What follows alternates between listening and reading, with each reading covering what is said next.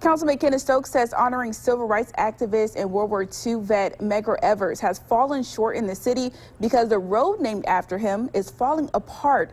Councilman Stokes is calling for Medgar Evers Boulevard to be paved once again. But the councilman says the road needs to be paved in time for the Medgar Evers homecoming next month.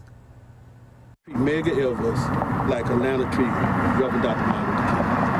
That, that, that's it. Make it a priority. When you make things a priority, you fix things. To come out and patch, that sounds good. But you need to have a plan that we're not going to patch. We're going to completely repave Medgar Evers Boulevard where people be proud.